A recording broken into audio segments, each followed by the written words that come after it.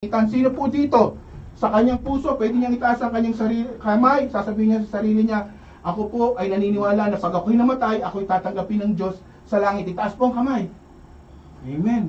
Dami. Baba po. O sino po yung gustong mauna?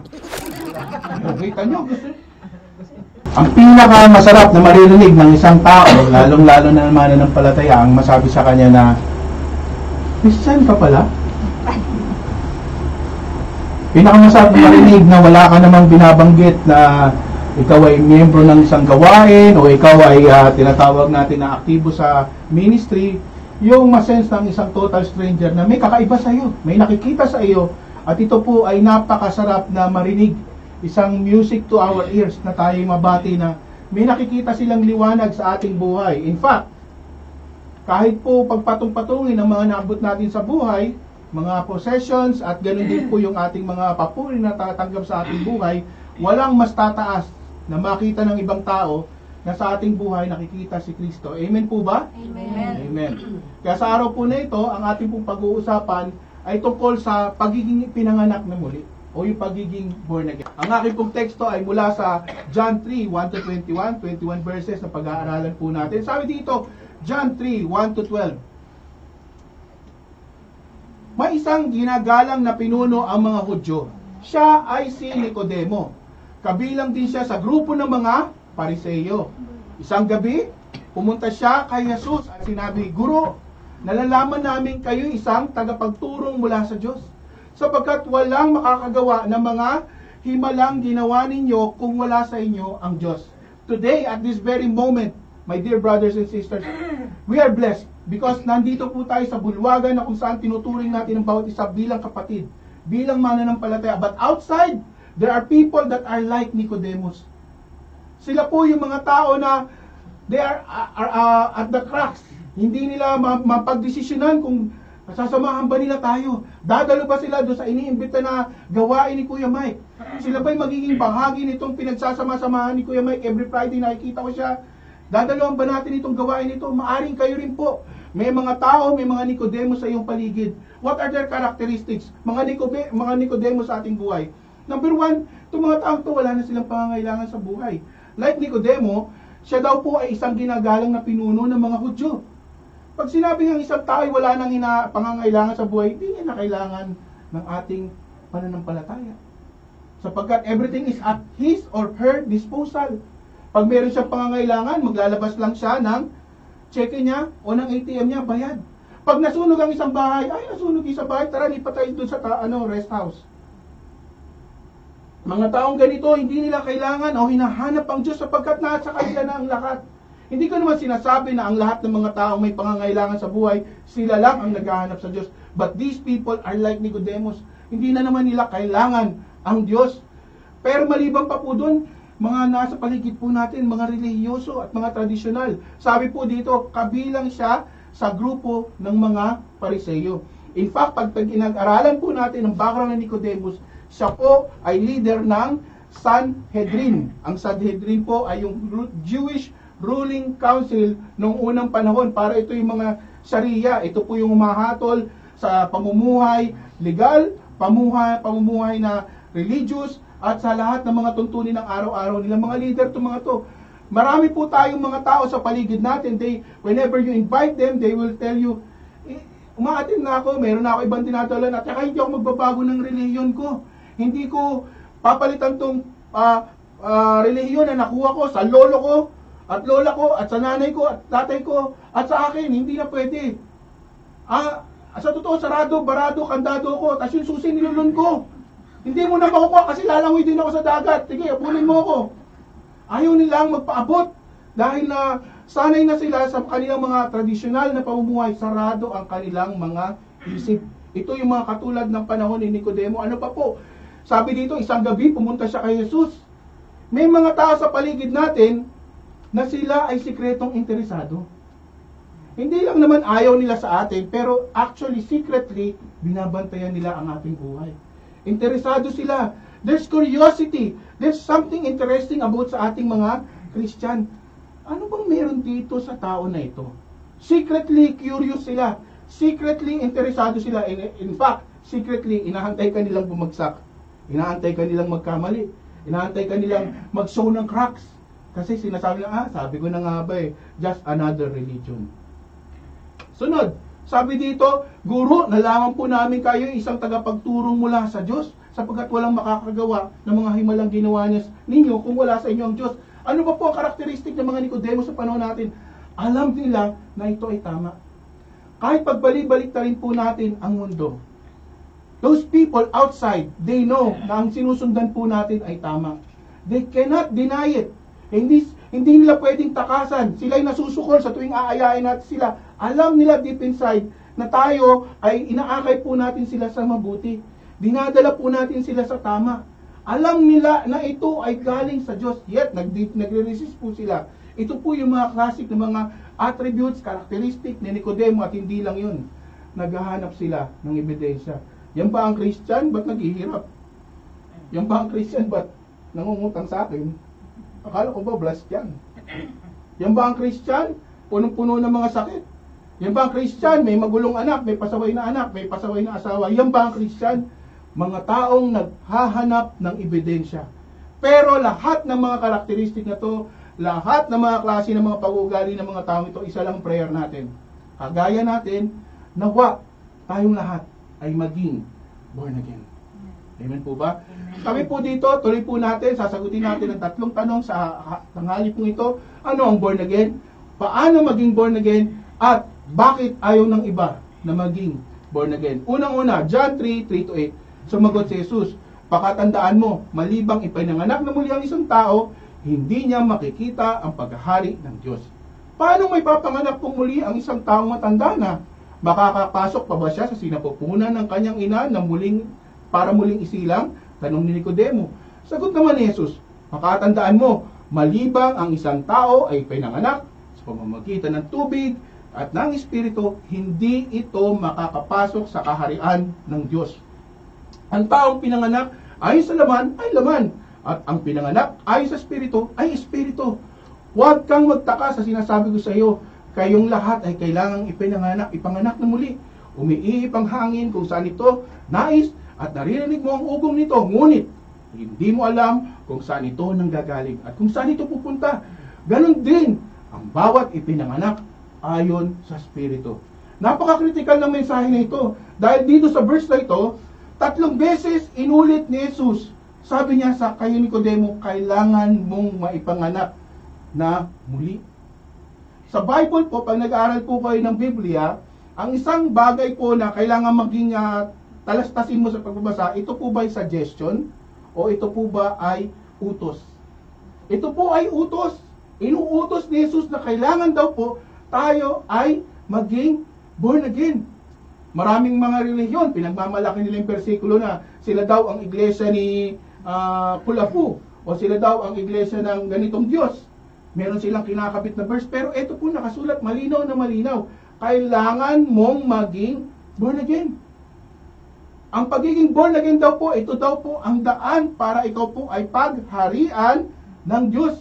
At hindi lang pagharian ng Diyos, makatiyak na kung tayo po ay mamamatay, tayo po ay tatanggapin niya sa kanyang kalangitan. Sino po dito? Sa kanyang puso, pwede niyang itaas ang kanyang sarili, kamay, sasabihin niya sa sarili niya, ako po ay naniniwala na pag ako'y namatay, ako'y tatanggapin ng Diyos sa langit. Itaas po ang kamay. Amen. Dami. Baba po. O sino po yung gustong mauna? Kita nyo, gusto makakapunta sa langit pero ayaw naman mauna. Marami mga ganyan mga tao. Sapagkat, oh, huwag na muna mauna, no? Marami, masarap ang mabuhay. So sabi dito, ang salitang born again, ang salitang born from above, at ang salitang born of water and spirit, kahit saan po natin ito tingnan, iisa lang ang tinutukoy nito. Iisa lang ang ibig sabihin nito. In fact, pag pinag-aralan po natin yung pinakamalalim na mensahe ng pagiging born again, born from above at born of water and of spirit, makikita natin ang ilang mga bagay. Isa, isa ito, pansinin natin. Ang isang taong ligtas ay dalawang beses na ipinapanganak. Pero isang beses lamang siya mamamatay. May birth certificate siya sa lupa, at may birth certificate siya sa langit. Anong patunay po natin dyan? Sa Pilipos 4.3, kausap ni Pedro dito yung mga taga-Philippians at nire-recommenda niya yung dalawang worker na babae, mga kasama niyang naglilingkod. Sabi niya, pinakikiusap ko rin naman sa inyo Tapat kong mga kasama na tulungan mo ang dalawang babaeng ito. Sila man ay kasama kong nagpapagal sa pagpapalaganap ng magandang balita. Kasa- kasama si Clemente at ang iba pang mga kamanggagawa ko. Ang pangalan nila ay ano? Nakasulat sa aklat ng buhay. Basic lang to. Pwede mong sabihin na kahit pala ikaw ay nasa lupa, meron kang rehistro sa langit. Kailangan mong manampalataya na ito po pala ay isang katotohanan na kahit nasa lupa ka, meron kang tinatawag na anchorage. Kaya mong tumayo sa isang pundasyon na ano man ang mangyari sa iyo dito sa buhay na ito, dapuan ka man ng karamdamang hindi nagagaling, ikaw ay may kapayapaan na tatanggapin ka sa langit. Dahil tayo po, hindi natin alam ang pwede mangyari. Sino ba makakapagsabi na pagpunta natin kanina umaga dito, makakaabot tayo sa pinto ng church? Amen. Ang dami po pwedeng mga aksidenteng mangyari sa daan. In fact, kagabi na natulog po tayo, sino makakapagsabi na magigising pa po tayo? We need an anchorage in our lives na kung sakaling kunin man tayo ng Panginoon, meron po tayong katiyakan na tayo tatanggapin ng Panginoon. Napakahalaga na ipasa natin ang mensahe na ito sa mga mahal natin sa buhay dahil reality, ang tao ay mamamatay. Sino ba dito ang pwedeng magsabi na walang nalagas sa kanyang pamilya? Lahat po tayo are casualty of death. In fact, one of these days, wag naman sana sa madaling panahon, tayo rin po ay mapapapilang sa tinatawag na mga casualty nito. Ito po ang pinakamahalaga dito na dapat maintindihan ng lahat. Ang taong hindi ligtas ay isang beses lang pinapanganak. Ngunit, dalawang beses sila mamamatay. Mayroon silang death certificate sa lupa at meron silang death certificate sa impyerno. Ano pong patunay? Sabi sa Revelations 20:14 to 15, pagkatapos ay tinapon din sa lawa ng apoy ang kamatayan at ang daigdig ng mga patay o Hades. Ang lawa ng apoy ay panan, pangalawang, ano ulit? Kamatayan, second death. Itinapon sa lawa ng apoy ang sino mang, ano? Hindi nakasulat ang pangalan sa aklat ng buhay.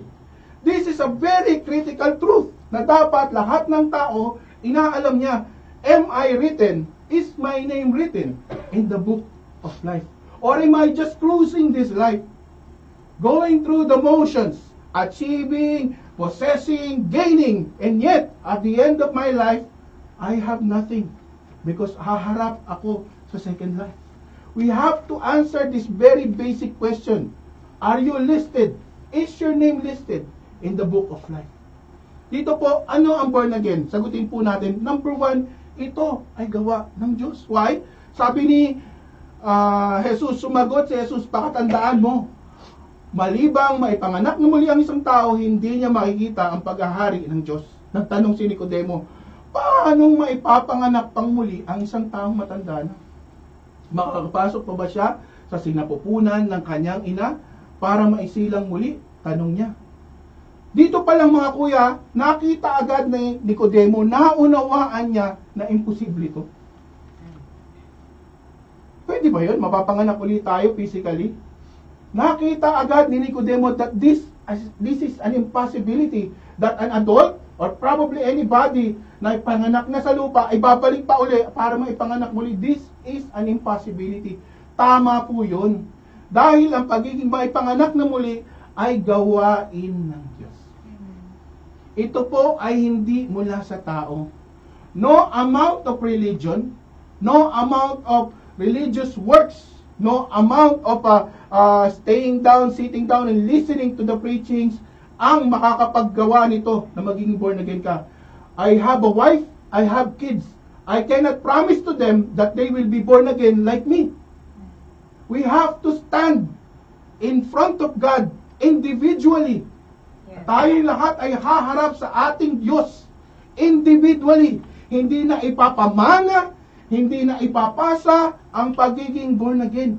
Ito ay gawa ng Diyos. And in fact, hindi ito relihiyon na pinaprangkisa na halimbawa kung ako pastor, pag tumanda na ako, ang susunod na maging pastor ay yung anak ko. Hindi ito na ipapasa, hindi ito na ipaprangkisa.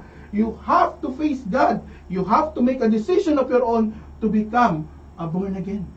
Amen po ba? Nag-agree po ba tayo dito? Sino pong di nag-agree?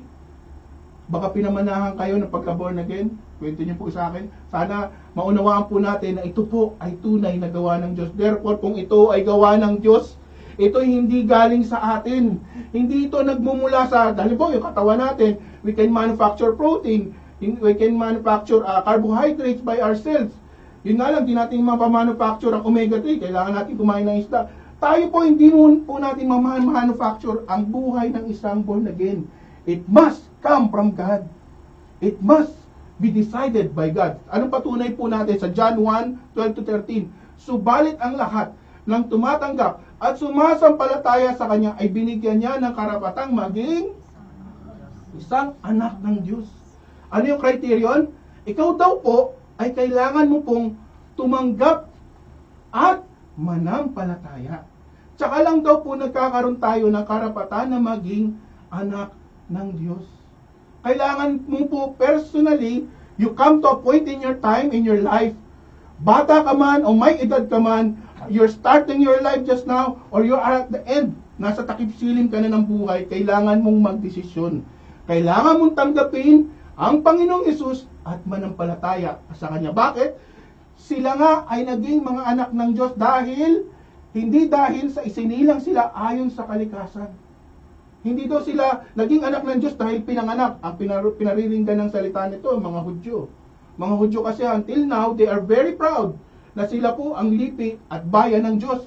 O sa kagustuhan o kagagawa ng tao. Hindi porque halimbawa, uh, pinatungan ko ng kamay ang isang tao, pinagdasal ko na born again ka na, ay born again ka na, hindi po ganun yon. At hindi ito pagiging anak ng Diyos, kundi ito ay pagiging anak ng Diyos dahil sa kalooban ng Diyos.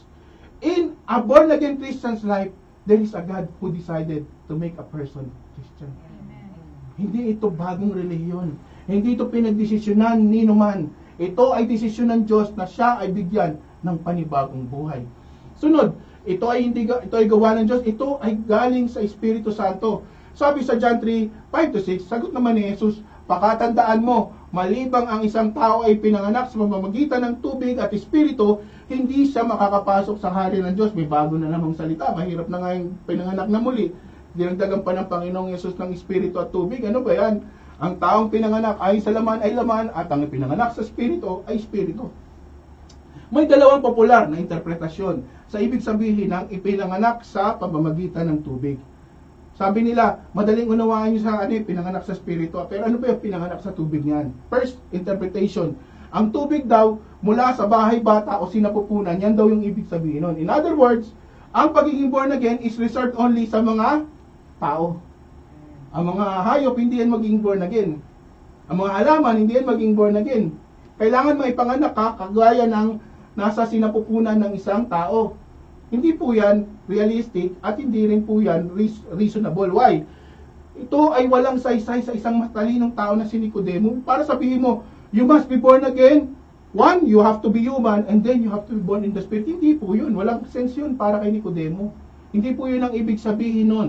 Sunod, ikalawang interpretasyon, tubig ng water baptism, kailangan para ikaw ay maging talagang Christian, ikaw ay nabautismohan sa tubig.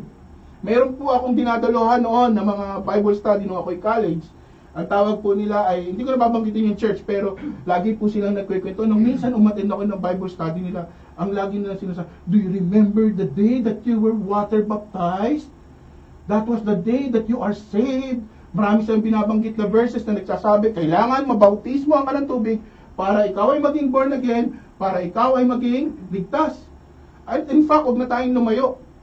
Lumaki tayo sa isang tradisyonal na simbahan. Anong sabi ng mga pare? bago mamatay ang baby o pag may sakit ang baby, pabinyagan para maligtas ang kaluluwa. In fact, theology teaches on some religion na kailangan mo talagang mailubog sa tubig, mabautismohan para matiyak mo na ikaw ay Christian. Pero hindi po yan yung ibig sabihin nun. Kasi, tandaan nyo, ang context dito, kausap ni Jesus, si Nicodemo. Sino ba si Nicodemo? Pariseyo.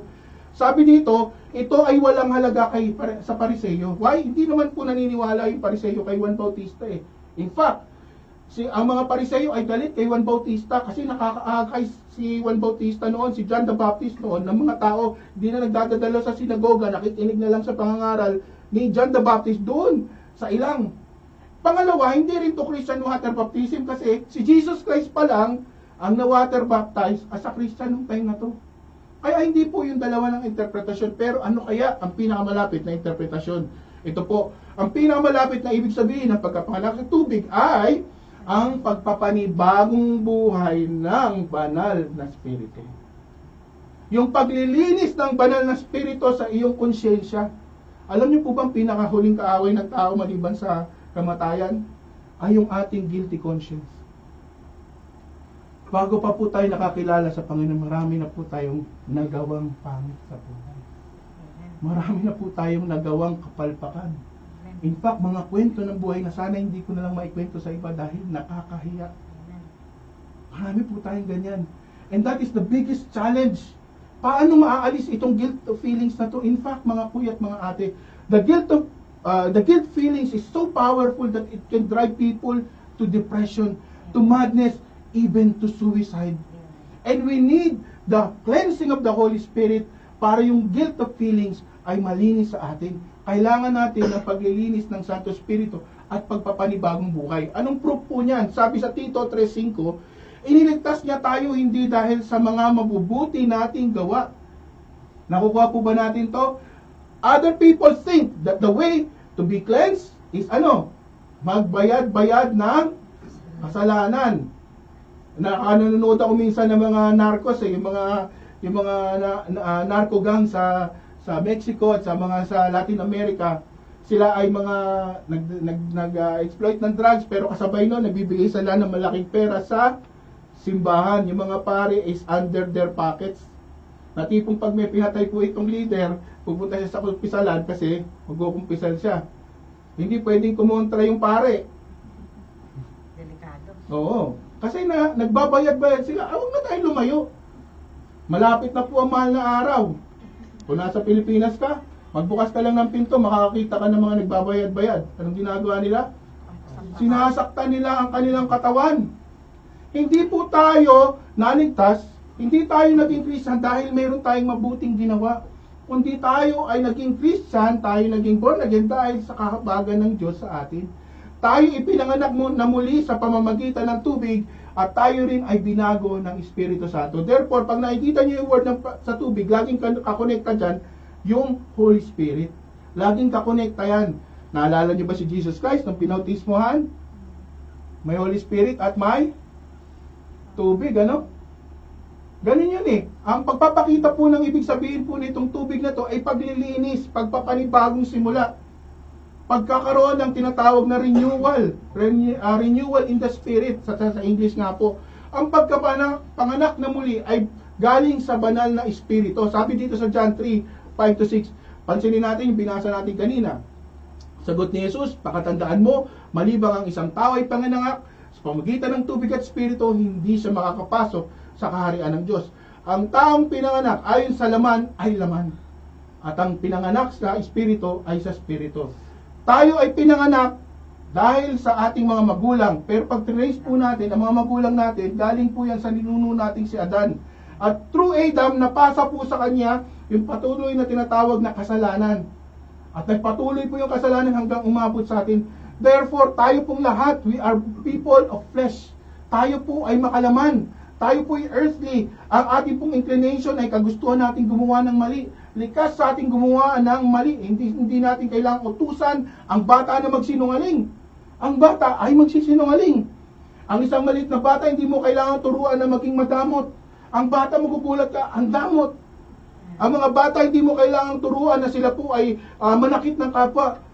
Magugulat ka, nagpapaluan sila ng mga laruan nila. Saan ang galing yun? It is in them. It is in us. Yung sinful nature, yung sinfulness ay nasa atin. Ang patunay po niya na tayo pong lahat ay makasalanan kasi lahat tayo ay mamamatay. Kabayaran ng kasalanan ay kamatayan. Sabi po dito, ikatlo, ano ang pagiging born again? Ito ay ginaganap o gumaganap ng pusa. In other words, mga kuya at mga ate, malalaman mo na naging born again ka, mayroong pagbabagong kusang nangyayari sa buhay mo. You don't manufacture it, but you see it happening in your life. Sabi ni Jesus Christ dito, Huwag kayong magtaka sa sinabi ko, John 3, 7 to 8. Kayong lahat ay kailangang maipanganak na muli. umiihip ang hangin kung saan ito nais at naririnig mong to, ugong nito, ngunit hindi mo alam kung saan ito nanggagaling at kung saan naman ito pupunta. Ganon din ang bawat ipinanganak ayon sa Espiritu Santo. Mga kuya at mga ate, ang sabi dito, pag umihip daw ang hangin, nararamdaman natin. Pero kailan mo nakita kung saan nanggaling ang hangin at kailan saan siya pupunta maliban na meron tayong parang instrumento. Ang pagkilos din daw ng banal na spirito is something that you cannot uh, learn from. Hindi mo to matututunan sa isang uh, seminar. Hindi to makukuha sa isang parang tinatawag namin pastor na naglehan sa iyo at pag pinag-pray ka, hindi yan nakukuha dyan. Ito ay gawa ng banal na spirito at kusang lumalabas. Sabi nga po dito, ang pagiging born again ay kusang nakikita, nadarama, at nagaganap sa isang tao na nananampalataya sa Panginoon. Sabi sa Romans 8:15 to 16, sapagkat hindi ibinigay sa inyo ng Diyos ang Espiritu upang kayo'y gawing alipin, mamumuhay sa takot. Sa halip, binigay niya ang Espiritu upang kayo'y gawing mga anak ng Diyos, kaya natatawag tayo sa Kanya na, Ama, Ama ko. Deep inside all of us, there's a yearning. Sabi nga nung isang narinig ko sa CS sa uh, narinig ko at nabasa ko tungkol sa sinabi ni C.S. Lewis. Si C.S. Lewis po ay dating isang atheist pero siya po ay nakakilala sa Panginoon. Siya po yung nagpen ng words na nagsasabi na deep inside man's heart is a very very deep back vacuum that all the possessions in the world cannot fill but only God can fill. Merong longing tayo. Meron tayong hinahanap sa ating mga puso at ito po yung makikita lang natin pag ang banal na spirito ay sumaatin at dahil dito nagkakaroon tayo ng pagkaunawa na merong Diyos Ama sa langit. Dati po, ang nakakalungkot nga eh, pag naalala ko yung mga palabas sa TV, ang tawag kay God, bro. Ang tawag sa Diyos ay yun nasa taas. Pag tinignan ko naman, may kisame, minsan may butiki pa. Bakit tayo mahihiya na tawagin ng Diyos na Ama? Bakit tayo mahihiya na tawagin na ang Panginoon ay Jesus? Huwag po, sabihin natin, Jesus, Sabihin natin, Ama, sapagkat yun ay patunay na meron pong naganap sa kalooban mo. Merong Espiritu Santo na nagtutulak sa iyo tumawag sa Ama. God the Father. Huwag po natin ikahiya yan. Sabi pa dito, 2 Corinthians 5.17, pansinin natin ha. Kaya kung nakipag-isa kay Kristo ang isang tao, isa na siyang bagong nilalang. Matik ko. Balihin mo, sa araw na nakipag-isa ka kay Kristo, sa mata ng Diyos, ikaw ay isa ng bagong nilalang. Hindi naman ito mahirap unawain. Hindi ito mahirap unawain. Nakakita na po ba kayo ng mga tinatawag natin na mga uod? Gagapang-gapang, gagapang-gapang, minsan hinuhuli mo at kung ano anong pinagagawa mo. Pero yan po, pag naghanap po yan ng mapapahingahan, gagawa yan ng kukun. At paglipas ng ilang araw, yung kukun po na yan ay mabibreak. At pag nag-break po yun, wag mo na ng pakilaman, may lalabas na napakagandang paru-paro. Metamorphosis. Biruin mo sa isang pangit ng uod, mayroon palang nagtatagong napakagandang nilalang. Dear brothers and sisters, gusto ko po kayong hamunin. Kung ang kaaway ay may ginawang pangit sa iyong buhay, sa iyong nakaraan, but deep inside you, because of the Holy Spirit, will come a beautiful being in Christ. Hindi po tayo matatali ng nakaraan ng ating mga pagkakamali dahil kung tayo ay makikipag-isa kay Kristo, may lalabas na maganda. May lalabas na mabuti, may lalabas na kapuri-puri sa ating mga buhay. Ito po ay galing sa banal na Espiritu. Sabi nga dito, ang Diyos ang gumawa ng lahat ng ito sa pamamagitan ni Kristo. Ibinilang na tayong kaibigan at hindi na kaaway. Galing pala sa Diyos, mga kuya at mga ate, ang katotohanan na ito. So dapat ma-realize din natin, sabi sa Ezekiel 36, 26 to 27, bibigyan ko kayo ng bagong puso. Ito po yung pinaka gusto kong ma-realize natin. Ano ba ang essence ng pagiging born again? Ito yung simpleng-simple lang. Dahil na ikaw ay pinanganak na bago na, bibigyan ka ng bagong desires. At bibigyan ka ng mga bagong damdamin na dati ay ini-enjoy mo. For example, dati likas sa iyo na maging palamura. Ginagamit mo siyang kama, period at exclamation point. Pero ngayong Christian ka na, There is something in you that holds you back na sa nagsasabi sa puso mo, mali yun ah. Hindi tama yung sinasabi mo.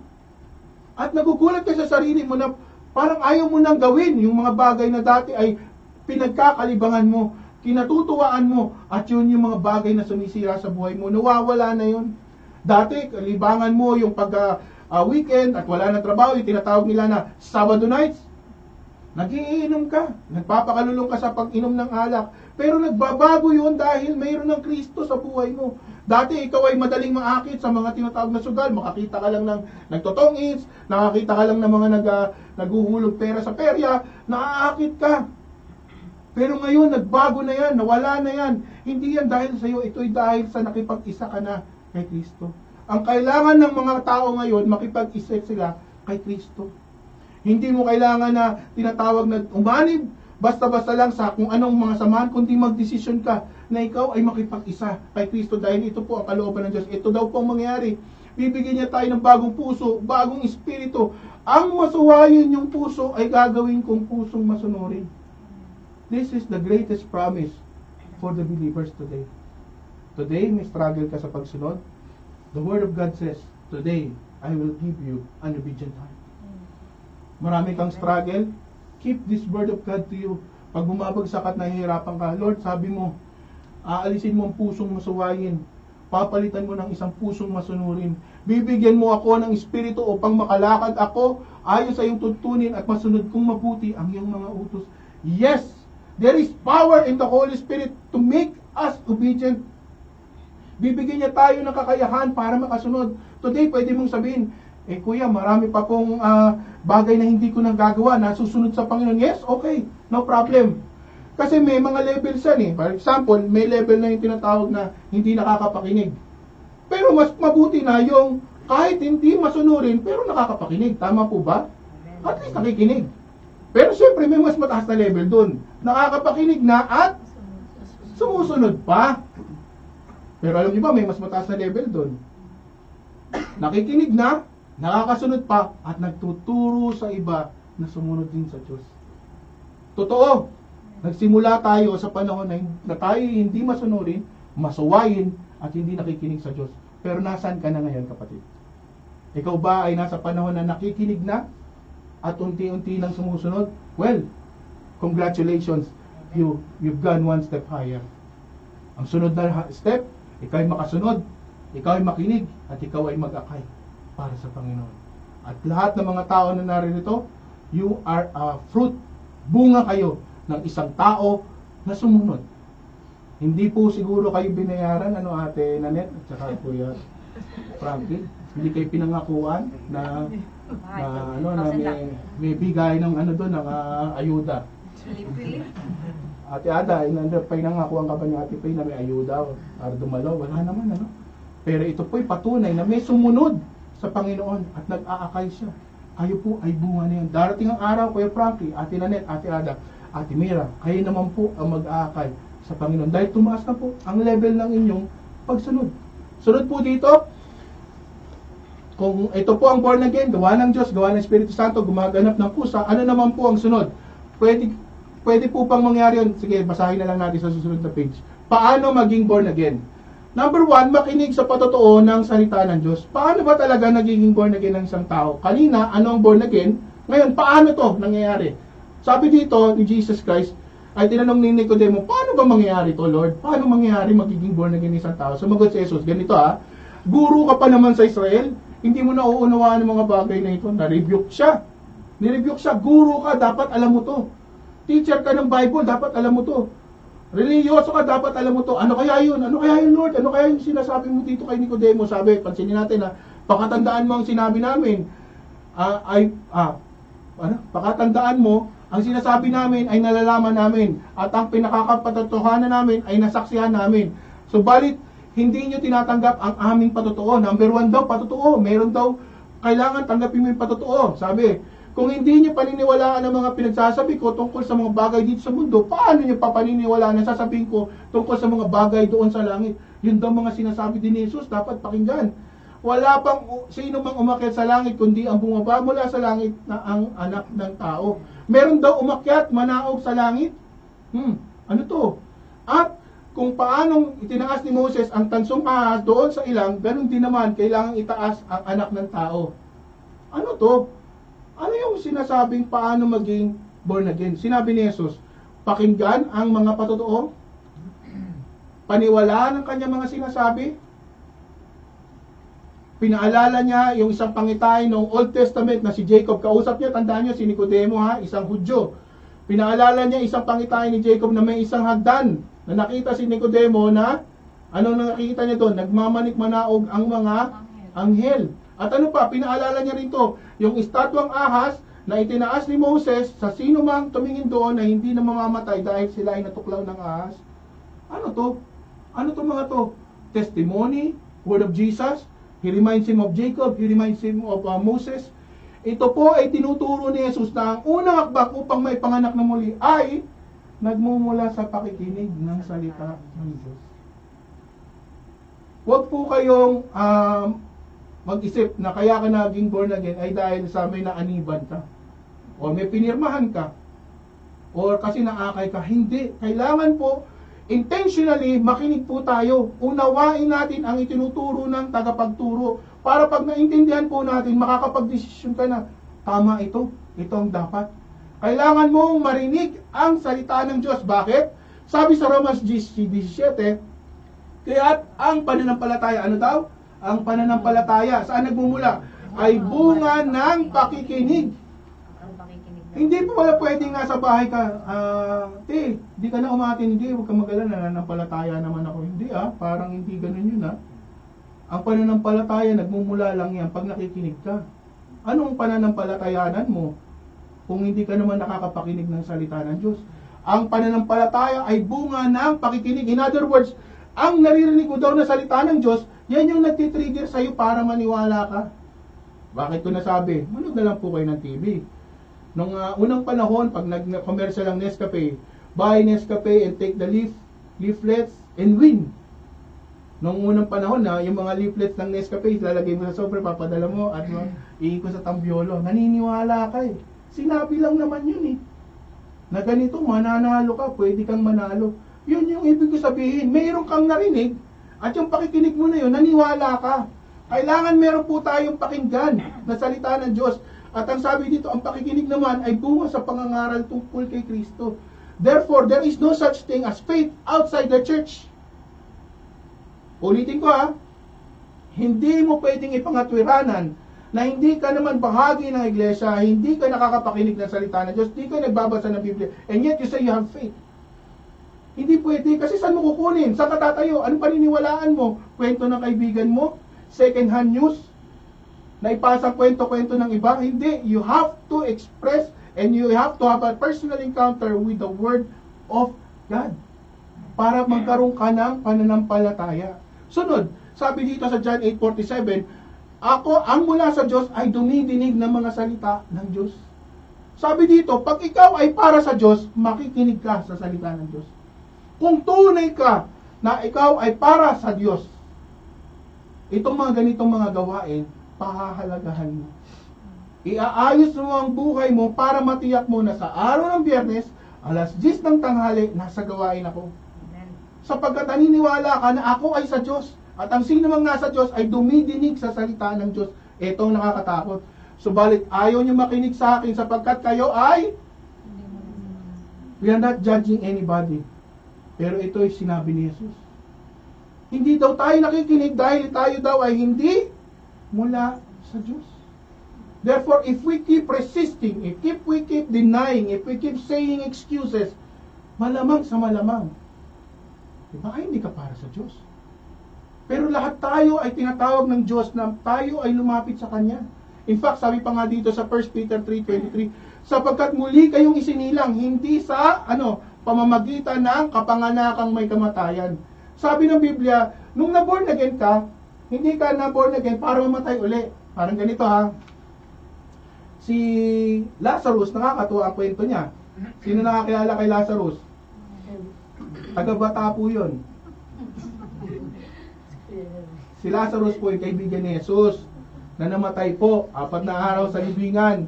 Pagdating ni Jesus, sinabi niya, Lazarus, pabuksan niyo ang libingan, Lazarus, lumabas ka. Siya ay nabuhay na maguli. No. Siya ay nabuhay na maguli. Mula sa mga patay. Pero paglipas ng ilang taon, namatay uli siya. Tama po ba? Ganun naman talaga, namamatay ang tao. Hindi natin yung pinagtatawanan, pero ito yung realization. Na born again ka, hindi para mapunta ka sa kapamakan. Na born again ka dahil ikaw ay kinakailangan na magpatuloy sa katotohanan. Sabi dito, kundi sa buhay at nagbabag at di nagbabagong salita ng Diyos. Hindi pwedeng yung nakadalo ka ngayon at nasabi mong born again ka, pagkatapos nun, wala ka na paglipas ng ilang taon. Dapat nagpapatuloy po tayo. Hindi po tayo nawawala. In fact, dapat lumalago po tayo, tumataas ang ating antas, at hindi po tayo nawawala sa salita ng Diyos. We will never, ever outgrow the Word of God. Nakakilala ka sa salita ng nakakilala ka sa Diyos dahil sa salita ng Diyos, mamumuhay ka sa salita ng Diyos at pagdating ng araw pag kinuha ka ng Diyos, nasa sa iyo pa rin ang salita ng Diyos. Yan ang patunay na ikaw ay sa Diyos. Hindi patunay na ikaw ay nakakilala nung bata ka, lumaki ka, naging, naging bahagi ka ng gawain, naging aktibo ka, pero pang nung nakapag-asawa ka na, tsaka ka nawala sa Panginoon. Hindi yun patunay na ikaw ay sa Panginoon. Ang patunay na ikaw ay nasa Panginoon, kahit nasaan estado ka ng buhay, nagpapatuloy ka sa Panginoon. Kaya mga po yung mga ate, titigan mo yung mga katabi mo. Paglipas ng isang taon, paglipas ng tatlong taon, limang taon, sampung taon, sila pa rin po ba ay nagpapatuloy sa Diyos? Dahil kung sila'y nagpapatuloy, sasabihin mo sa sarili mo, ah, yung kapatid na yun, sa Panginoon talaga yun. Palakpan natin ang bawat isa, sa kapurihan ng Panginoon paano maging born again? At siyempre, manampalataya kay Jesus, ang anak ng Diyos. Sabi dito sa John 3, 9, 17, sapagkat gayon na lamang ang pag-ibig ng Diyos sa sangkatauhan. Very famous po ito ha. Kaya binigay niya ang kanyang kaisa isang anak upang ang sino mang sumampalataya sa kanya ay hindi mapapahamak, kundi magkaroon ng buhay na walang hanggan. Isinugo ng Diyos ang kanyang anak, hindi upang hatulang maparasahan ng mga tao, kundi upang iligtas sa mga tao sa pamamagitan niya. Sabi dito, God, Englishin natin yung John 3.16 ha, is the greatest lover. Tama po ba? For God so loved. The greatest act. The world, the greatest number, biruin mo buong mundo, mahal ng Diyos. Sunod, that whosoever, this is the greatest in- invitation, kahit sino. Ang laki nung iniimbita, pero kahit sino, the greatest invitation, believes the greatest human response. Hindi mo kailangang ah, mapunta sa isang special na lugar para masabing ligtas ka. Hindi mo kailangang magkaridad, magbigay ng pera. Hindi mo kailangan na ah, maging bahagi ng isang mahabang ah, line of church. Hindi. Hindi mo kailangan magbigay ng o gumawa ng mabuti. Believe. Greatest human response. Manampalataya ka lang in Him. Sino yung in Him? Si Jesus Christ. He is the greatest person. And ito yung greatest deliverance. He shall not perish. Biruin mo, no? Dapat daw tiyak na tayo mapaparusahan. Naturo na yan two weeks ago na lahat ng taong nagkasala ay patungo sa impyerno. Pero ito po yung greatest deliverance. At ano yung greatest promise? But we will have eternal life. For God so loved the world that He gave His only begotten Son, that whoever believes in Him will not perish, but have eternal life. Sabi dito sa 1 John 5, 1, 4 to 5, kung tayo sumasampalataya na si Jesus ang siyang Kristo, tayo nga yung mga anak ng Diyos. Sapagkat napagtatagumpayan na ng mga anak ng Diyos ang sanlibutan at nagtatagumpay tayo sa pamamagitan ng pananampalataya. Sino ang nagtatagumpay laban sa sanlibutan? Ang sino mang sumasampalataya na si Jesus, ang anak ng Diyos. Brothers and sisters, I know lahat tayo may needs. I know lahat tayo may tinataan sa mga pagsubok at mga tinatawag na mga challenges ng buhay. Pero kung ikaw ay nananampalataya kay Kristo, lahat ay malalagpasan mo. Why? Kasi kung binigay nga si Jesus para sa kabayaran ng ating mga kasalanan, yung pa kayang ating pangangailangan ay hindi ibigay ng Diyos. Uulitin ko ha, baka hindi niyo po nakuha. Pag dumadaan po tayo sa matinding pagsubok, ang lagi mong aalalahanin si Kristo. Sasabihin mo, hindi Lord eh. Binigay mo nga si Jesus Christ para sa kabayaran ng kasalanan ko. Eto, maliit lang na bagay to. Kaya mong ibigay ito. And God will give. Whatever message God gave to Ate Faye kanina, and I was worshiping as well, God gave me the same message. Siguro meron po isa sa atin may pinagdaraanan talaga.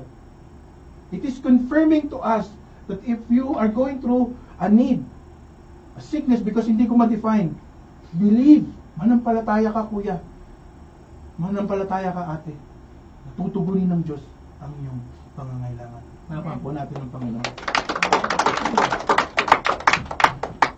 Romans 10, 9 to 10, Kung ipinahayag ng iyong labi na si Jesus ay Panginoon at buong puso kang sumampalataya na siya'y muling binuhay ng Diyos, maliligtas ka. Sapagkat sumasampalataya ang tao sa pamagitan ng kanyang puso at sa gayoy napapawalang sala siya ng Diyos. Nagpapayag naman siya sa pamamagitan ng kanyang labi at gayon ay naliligtas. Yes, from here on mga kapatid, hindi lang po tayo Kristiyano na tahimik lang, kundi manampalataya tayo ng buong puso na in fact ang ating bibig ay nagpupukaw ng mga salita na nagsasabi ang Panginoong Yesus ay ang ating tagapagligtas. Sunod, paano ulit maging born again? Makinig sa patutuo ng salita ng Diyos at manampalataya kay Jesus na anak ng Diyos. Sa pagtatapos, John 3:18 to 20, hindi hinatula, dandahanin ko na lang.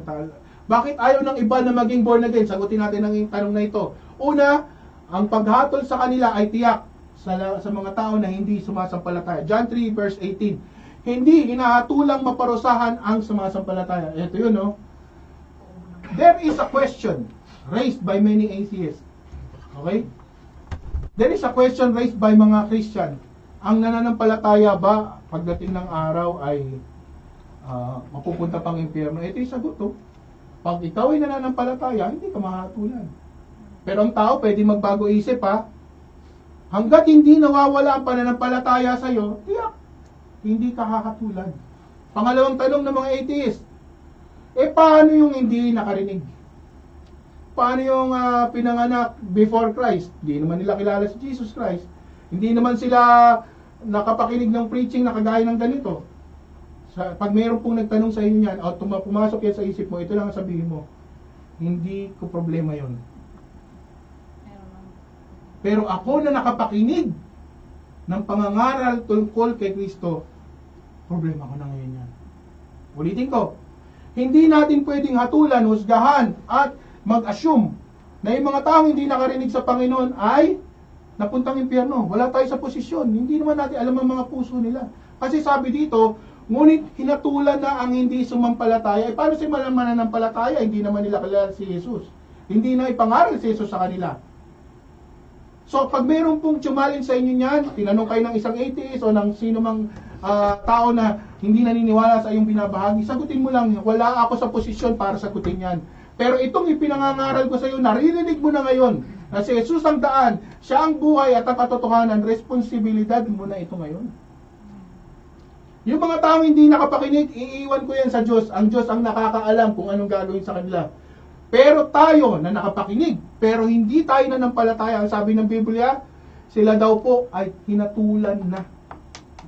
May hatol na agad. Biruin mo, narinig mo yung salita ng Diyos, pero hindi ka na nampalataya, nahatulan ka na.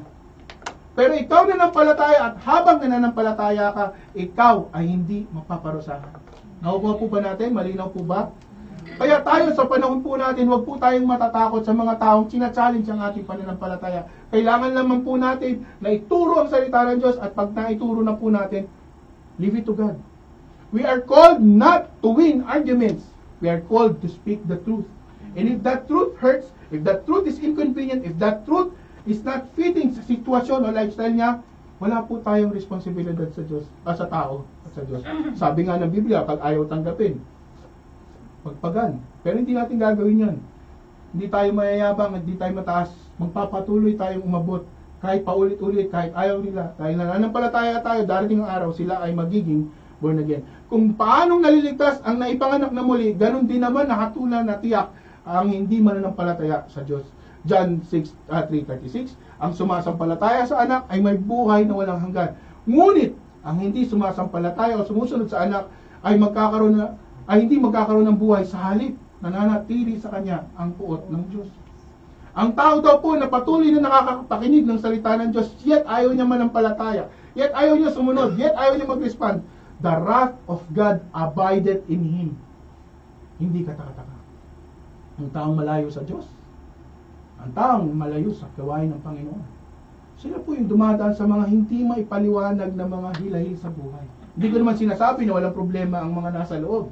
Pero ang sinasabi ko dahil sila ay wala sa Diyos, nandun yung mga hindi hindi masolusyon ng mga problema, mga sakit na hindi gumagaling, mga pangangailangan hindi matugunan, mga mga tinatangkilik na pumapasok sa isang pulsa, lumanap pa sa kabila. Hindi nila ma-explain. Why? Because they are apart from the providence of God.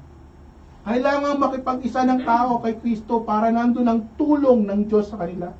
The Bible says, uh, Uh, He will never leave us nor forsake us. Hindi tayo iiwan o pababayaan ng Diyos. Inuulit ko, ngayon na nasa kawan ka na ng Diyos, Ngayon ka pa ba bibitawan ng Diyos?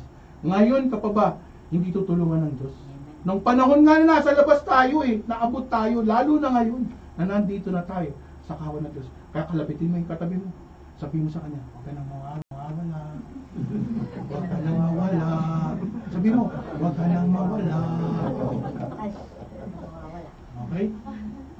Sabi dito, pag-ibig sa paggawa ng masama. Isa sa dahilan kaya ayaw ng tao maging born again, ganito ang paghatol ng Diyos. Naparito sa sanlibutan ng ilaw, ngunit inibig ng mga tao ang dilim. Kaya, kaysa sa liwanag sapagkat ang kanilang mga gawa ay masasama. John 3.19 Kaya pala, maraming tao ayaw nila na maging born again kasi they want the lifestyle of sin.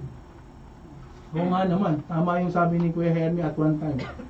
May kaibigan daw siya na ayaw niyang umatin kasi oras na siya dumalo sa gawain sa Christian, responsibilidad ng sumunod sa Diyos.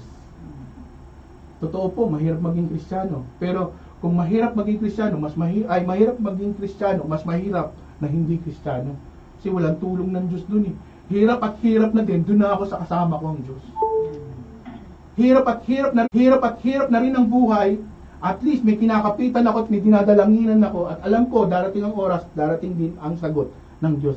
Kesa ako'y nasa labas. Totoo po yan. Kaya kung hirap at hirap na rin, hirap na lang sa pagsunod sa mabuti kesa hirap at hirap din dahil sa consequences ng mga kasalanan. Bakit? Alam po po ba natin na pag tayo gumawa ng kasalanan, hindi tayo hakabuli ng kasalanan. There is psychologist I follow. Sabi niya, pag niyang i-interview siya ng mga pasyente niya, may mga problema, mga tinatawag na parang conflict sa kanyang pag-uugali o conflict sa kanyang mga relationships. Pag makalipas ang dalawa, tatlong session, malalaman niya na somewhere in the past, meron siyang ginawa.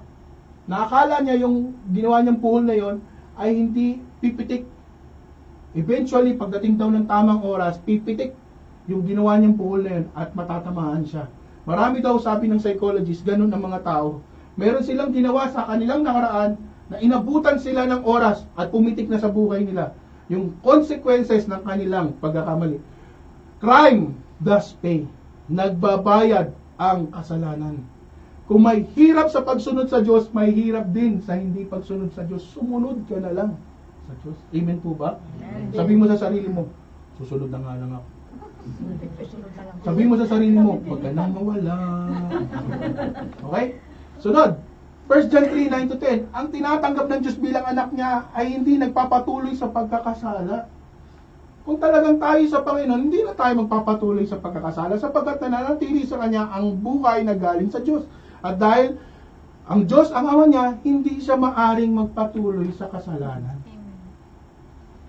I am proud that paminsan-minsan napupuri ang aking mga anak.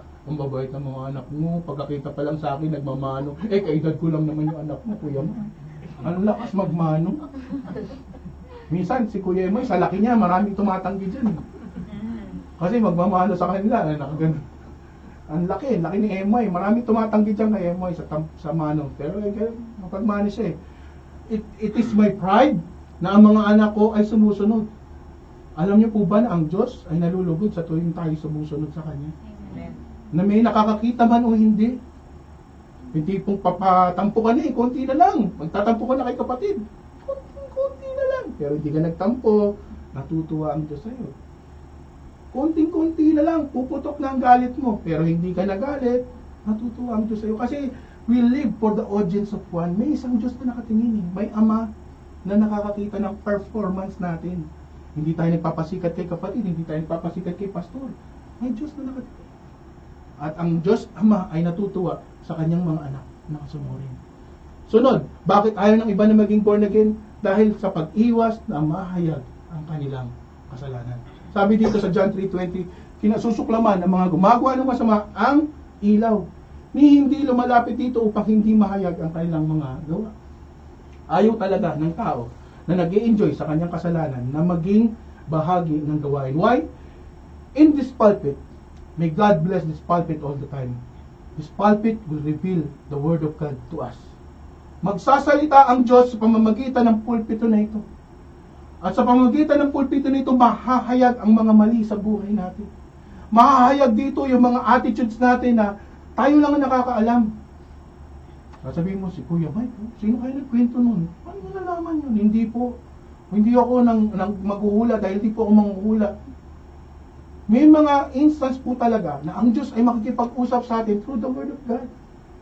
Ang Word of God, i-expose po niya yung mga pangit sa buhay natin dahil gusto tayong pagbuhay ng Diyos. At kung ayaw po nating magpabago, kaya po ayaw nating maging born again. Ayaw natin yan, Kuya May. Ayaw kong matin yan kasi ang daming maaalis sa buhay ko eh. Atin ako dyan, eh, may, boy, may girlfriend ako dito sa Saudi. Eh, pag, ah, paano na yung girlfriend ko sa Saudi? Iwanan ko ba siya? Ay, oo kapatid! Masisira ang buhay mo. Eh, Kuya Mike, eh, ano eh, ah, lagi kasi yung mga kasamahan ko, inaaya ako sa sabong, inaaya ako sa sugal. Eh, talagang iwanan mo yung mga kaibigan mo na makasunod ka sa Diyos. Iwanan mo sila para makasunod ka sa Diyos sapagkat kung nais mong liwanag, maiilawan yan ang mga pangit sa buhay natin. Pero kung nais, kung ayaw mo ng liwanag, ma-expose ang gawain. Kaya da, yan ang dahilan, kaya ayaw mong maging born again. Sa, pag, sa Ephesians 2 to 3, ang totoo, tayong lahat ay dati ring namumuhay ayon sa ating laman. Tayo yan eh. Ah, at sinusunod ng masamang hilig ng katawan natin at pag-iisip. Kaya ang ating likas na kalagayan, kabilang tayo sa mga kinapopuotan ng Diyos. Lahat po tayo ganyan nung nakaraan. Lahat po tayo, ang likas ng katawan natin, gu- gusto natin masama. Gusto natin pag wala nakakakita, gumagawa tayo ng hindi tama. Gusto natin pag halimbawa, ah, nasa sarili lang tayo ng ating mga ah, pamumuhay, nandun yung masama nating gawin. Minsan nananalangin ka, Lord, bless mo ako, bigyan mo po ako ng kotse. Na nagkakotse, lahat na madaan ng mga mag-isang babae. Sakay na. Di ba? Baligtad kung kailan linis ng Diyos, tsaka naggawa ng di mabuti. Kaya ganyan daw po tayo, pero eto nakatutuwa. Subalit napakasagana ng habag ng Diyos at napakadakila ng pag-ibig niya. Nung dati nananalangin lang, Lord, bless mo po ako, pag, ah, pagpalain mo lang po ako financially, nung naging mayaman na, nagkaroon ng katulong, nang aapi naman ng katulong. Dapat habang inaayos po ng Diyos ang ating buhay, we try to develop ourselves to be the better person. Inuulit ko, money is not evil. In fact, money is a megaphone. Kung likas sa atin na tayo mabuti, noon, nung tayo di natin kaya, hindi natin kayang makapagbigay, pero dahil sa kakayahan na binigay ng Diyos sa iyo, lumabas na kung tunay kang mapagbigay, lalabas ng kusa sa iyo ang pagiging mapagbigay. Pero kung likas sa iyo, likas sa atin, na tayo po ay masama, nagbibilang, darating ang oras na kahit po pa-asensoy tayo ng Panginoon, yun lang po yung kakayahan na yun, yung pagiging mayaman mo ay gagamitin mo laban sa iyong kapwa. Dahil money is a megaphone. Popularity is a megaphone. Ini-expose niya, pinalalakas niya lang kung sino talaga tayo. Because money is not evil. We are evil. Amen po ba? Sabi po dito, ano ang born again sa pagtatapos? Gawa ng Diyos, galing sa Espiritu, gumagamit ng pusa. Paano maging born again? Makinig sa patutunan ng salita ng Diyos, manampalataya kay Jesus, ang anak ng Diyos. At bakit ayaw maging born again ng mga tao? Pag paghatol ay tiyak sa mga hindi sumasampalataya, mahilig sila sa paggawa ng masama, at umiiwas na mahayag ang kasalanan. Ngayon, pagtatapos, balikan natin si Nicodemo. Anong nangyari kay Nicodemo? Mababasa natin sa kahuli-huli yung verse ng John 3.21 na pinag-text natin. Ngunit ang namumuhay ayon sa katotohanan ay ano? Lumalapit sa ilaw upang maihayag ang mga ginawa niya ay pagsunod sa Diyos. Sabi dito sa John 7.51, baybayin natin sa kwento ng Biblia anong nangyari kay Nicodemus dun sa kanyang instance na nakilala niya si Jesus. Naging born again ba siya? Naging born again kaya si Nicodemus? Sagutin natin. John 7:15 to 21, isa sa mga naroon ay si Nicodemo, ang pariseyong nagsadya kay Jesus nung una. Siya ba yon? Siya yon. At siya ay nagtanong, hindi ba labag sa ating kautusan na hatulan ng isang tao nang hindi man lang nililitis at inaalam kung ano ang kanyang ginawa? Ito yung panahon na nagkita-kita ang Sanhedrin at iniharap na si Jesus, pinagtatanggol ni Nicodemo si Jesus dahil hahatulan na si Jesus ng Sanhedrin. Ang sabi dito, nawala ang takot ni Nicodemo, pinagtanggol niya sa gitna ng Sanhedrin si Jesus. Ano pa po? Sabi sa John 19:39 to 40, kasama rin si Nicodemo, ang taong nagsadya kay Jesus isang gabi. Siya, siya rin ba yung pinag-uusapan natin? Yes. May dala siyang pabango, mga 30 kilong pinaghalong mira at alo, aloe. Kinuha niya ang bangkay ni Jesus at nilagyan ng pabango habang binabalot sa isang mamahaling tela ayon sa kaugalian ng mga Hudyo. Si Nicodemo din po ang naglinis, nagprepare ng katawan at naglibing kay Jesus. Na born again kaya si Nicodemo. Ano sa tingin nyo? Nung narinig niyang salita ni Jesus, siya'y na born again. The challenge now is to us. Narinig niyo po ang mensahe. Gusto niyo po ba maging born again? Amen. Oh, nakasal. Gusto niyo po ba maging born again? Ang message ay sa atin na nilalagay ng Diyos sa inyong harapan. Gusto niyo bang maging born again? And it can happen today. Kailangan mo lang manampalataya ayon sa pinakinggan mong salita ng Diyos. At ito'y pwedeng mangyari sa araw na ito. At kung ikaw ay patuloy na makikipag-isa kay Kristo. Sa paglagom,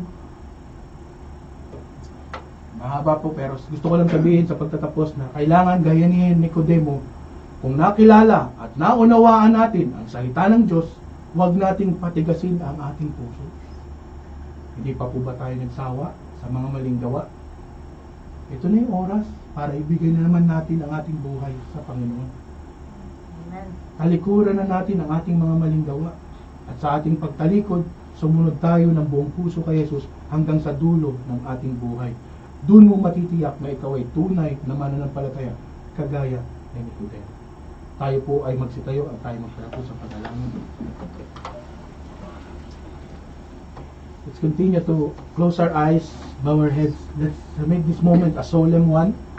Gawin po natin ang pagkakataon at opportunity na to na ituring natin na ang Diyos ay nangungusap sa atin. Kapatid, nung dumating ka dito, maybe wala ka masyadong expectation. But you have heard the Word of God and God is inviting you na makipag-isa ka na kay Kristo. Maging born again ka. Hindi isang reliyon, kundi isang pagpapanibagong simula sa tulong ng Diyos sa pamagitan ng Santo Spirit. Gusto kong i-offer at i-open ang opportunity nito sa iyo kapatid. Hindi ko alam ang iyong pinagdaanan, hindi ko alam kung ano ang iyong nakaraan.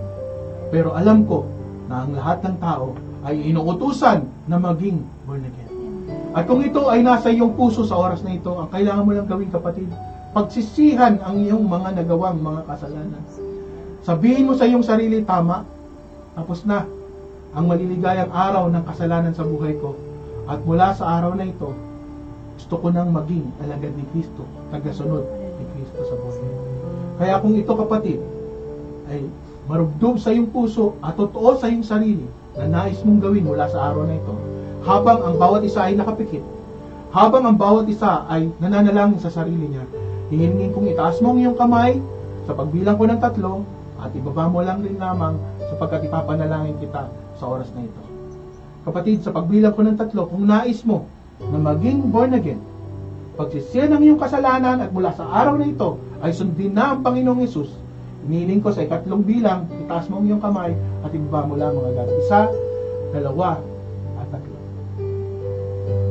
Salamat sa mga kamay na yan at maaaring niyo na pumupunta. Tataas kita sa panalangin kapatid. Pray uh, with yourself.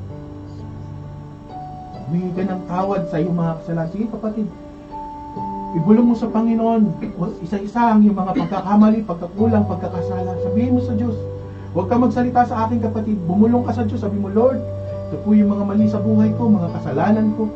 At nagsisisi ako sa oras ito. Sige kapatid, sige po. Huwag po kayo mahiya sa iyong katabi. Bulong niyo po sa Diyos. Ang Diyos ay nakikinig. Ang Diyos ay nararito. Ang Diyos ay handang tanggapin ka. Wala siyang tatanggiran. Wala siyang itataboy. Sige kapatid. Sige kapatid, bukas mo ang iyong labi. Sabi mo, Lord, Lord, ito po yung mga pangit at gusto ko na po itong talikuran at mula sa araw na ito, gusto ko na pong sumunod sa iyo. Sige kapatid, sige. Tuloy-tuloy lang kapatid.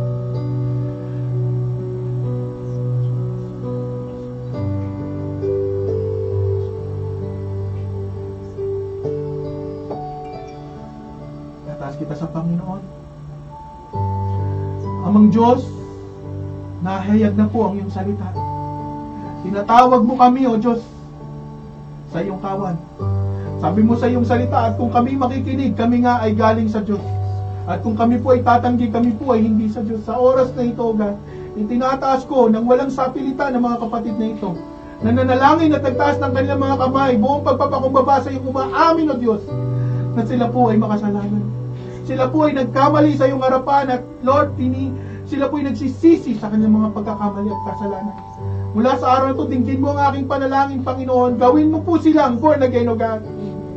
Amang Diyos, hindi po namin ito kaya, Panginoon, O God. Hindi po ito nagmumula sa tao, sa husay at talino ng tao, O Diyos. Ito ay nagmumula sa Santo Espiritu lamang, O God. O Lord, touch these people, O God. Lord, give them faith right now, O God, to believe in Jesus Christ, O God, who died on the cross, who was buried, and on the third day rose from the grave, O Lord, O God. And Lord, sa, sa ika-apat na pong araw, God, siya po'y bumalik at daluklok sa kanan ng Ama. Ito po ang katotohanan, O God, na ang buhay mo'y binigay mo para mabayaran ang aming mga kasalanan, O Diyos. At ito po ang katotohanan na magliligtas sa amin, O God. Hindi sa sarili namin mabuting gawa o sa mga bagay na magaganda sa amin, kundi Lord, dahil sa awa mo sa amin, kami ay maliligtas.